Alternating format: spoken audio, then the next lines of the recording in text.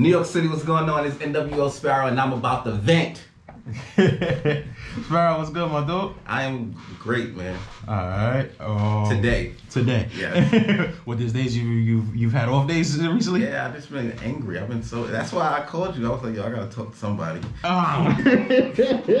I can't tell. You be smiling all the time. You there? You hood You one of them niggas that smile when you're angry?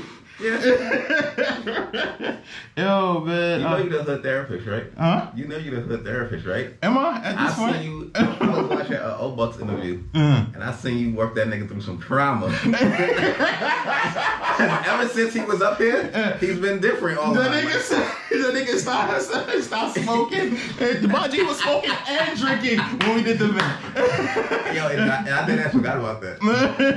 like I stopped smoking and stuff like that. Man, that nigga stopped smoking and drinking after the event. Yeah. You So I all of the you got all of the Brooklyn legends up up with him on the event. I appreciate it, that. Yeah. Oh man, thank you, thank you, thank you, man. But um, yo, man. Um, let's start off, man. Giving you your flowers, man. I love watching your shit, bro. You you. inspire me so much. Thank you you, know what I'm saying? And that is, I mean, for for me to be doing this this long and to still people still be able to inspire me, Yeah. it's a um thing. It's definitely something that I'm appreciative of because I think a lot of people do it like you know because they think it's like a easy transition or like the cloud. You know what I'm saying? What I'm Yeah. saying like the podcast game. I just pick up some mics and stuff like that. Nah, you are very diligent. I mean, as a person that see that knows the work and can see the work from a trained eye.